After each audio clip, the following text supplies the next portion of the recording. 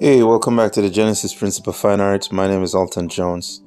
Thank you for joining me again today for another session of this last cup until we drink painting. Before I get into the painting, though, let me just encourage you to take a moment out of your day to check in on someone, see how they're doing, find out if they're all right.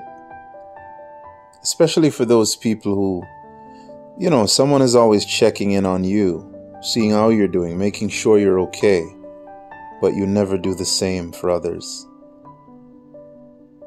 Let me encourage you to try it.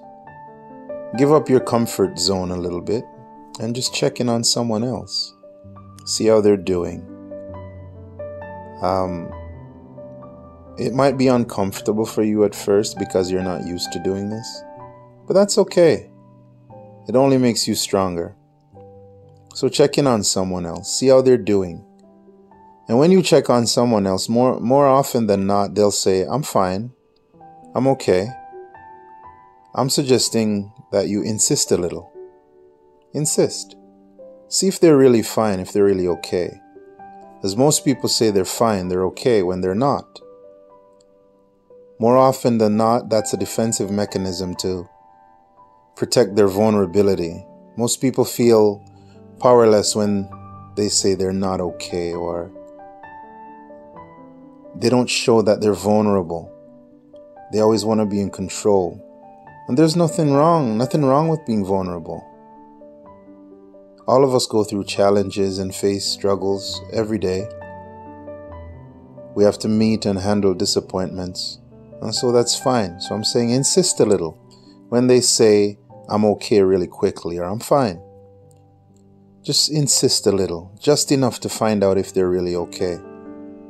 You may find that the results of that really surprise you. And the surprise may be pleasant as well. You may find that the person You've made such a difference in their life just for checking, just for showing that you care enough to insist to find out how they're really doing. It can really transform the day of a person and sometimes even their lives to know that someone care enough to insist to see how they're really doing to find out if they're actually really okay, if they're fine. Anyway, I hope that makes some sense. Let's get back into the painting now, and um, hopefully, you enjoy this one as well. Okay, so we're back on the canvas here. Thank you for for joining me again and uh, going through this process with me. I thought this would be the last session of, of this painting, but I guess not. Um, a lot of small details I need to cover, so I'll just continue on until this one is finished. Maybe I can get what I need to get done done in the next session, hopefully. But for now, we'll continue and um, continue working on some of the things that I I'd like to deal with.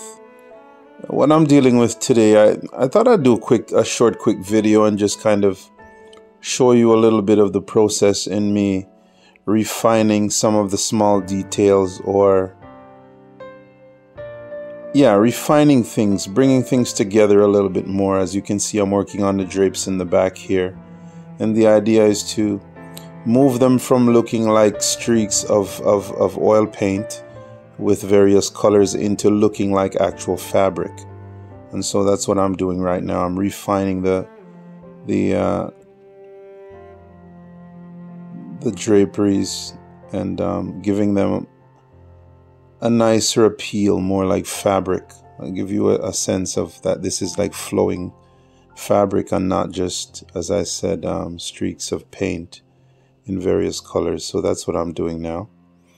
And beyond that, I'll be working on a little bit on the the tablecloth, the purple tablecloth draped over the table, and also a bit of the stonework on the floor and um, I think that would probably be it today. Uh, so slow, very slow process with this one. I'd like to finish each painting in about seven sessions, and uh, seven sessions, seven sittings. Well, not seven sittings, because I sit a lot more than I actually show on YouTube. Um, the sessions are quite long. As you can see, this one is actually sped up. It's not real time. It's still um, time lapsed to some degree, but you can still pretty much get an idea of what I'm doing. And so um, I'll try to finish in seven set sessions. At least that's what I'd like to do, but seems they're taking a little bit more than that. But today, at least you get to see how I refine things a little bit, give things a little bit more character before I get to detail and highlights. So this is the refining stage of a few things uh, in the in the scene here. And in this room, uh, as I mentioned that in one of the videos, that this is a Passover painting. This is based on Passover.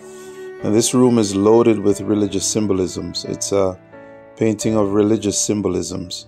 So everything inside this room means something and is significant for something.